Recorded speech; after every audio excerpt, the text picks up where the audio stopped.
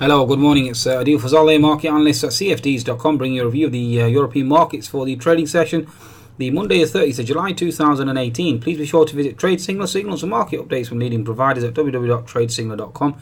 You can certainly visit the um, App Store at Google Play and the Apple App Store as well uh, in order to download that uh, latest app and follow those uh, signals and market updates. Okay, from leading providers. Okay, in terms of uh, the markets, then basically we're reading from the sell-off from the US session on Friday. Post GDP data certainly seems like the GDP wasn't strong enough, or certainly uh, was strong enough to uh, signal a hawkish stance from the Fed. Uh, again, it was tech stocks that certainly uh, led the rout uh, in the selling. The Dow Transport certainly topping out as well, the Russell as well.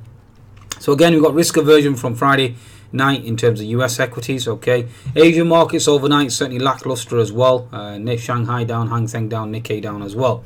In terms of this morning, uh, the main real um, uh, focus points is the German inflation numbers coming in stronger than expected. So watch out there. Okay. Um, last week we had the uh, bullish, obviously, um, uh, reaction post Juncker and Mr. Trump obviously de-escalation in terms of the potential trade war with Europe and the US but the Chinese trade war concerns remain. In terms of uh, economic numbers this morning, services sector, yeah, from the euro sentiment, services sentiment coming in stronger, consumer confidence more or less flat, industrial confidence weaker, business climate weaker, and economic sentiment more or less flat as well.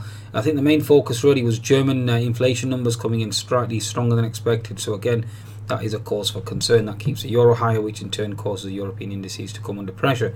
So again, US session weakness, especially tech stock weakness. Okay, was certainly expected to drag. Uh, also, overnight, Mr. Trump did threaten to shut down the government. Again, that's a risk-off factor as well. Uh, in terms of uh, the current status quo. Okay, now moving on to technical uh, aspect of the market. As you can see, we've gapped down in the German DAX. Now there is a big gap to fill underneath. Given the nature of the sell-off in the Nasdaq, the German DAX certainly hasn't come in line yet. I was expecting a sell-off down to 12,780, potentially even down to 12,720, and or even gap fill below. So let's watch out there. It certainly seems that euphoria post-Trump or junk, the Trump and Juncker meeting certainly is holding on, especially in terms of French CAC as well. If you look at the daily chart, the French CAC went into gap fill. Okay, we're just uh, we're around 75%. Looking for further risk aversion here as well. Uh, okay. Uh, in terms of the French CAC, I mean, the next key real resistance is at 5560 at present. Uh, you've got a gap fill obviously around here, but we've surpassed that now. Okay, so let's just take that out of the equation. Okay, uh, again, you've got unfilled gap below at 5240.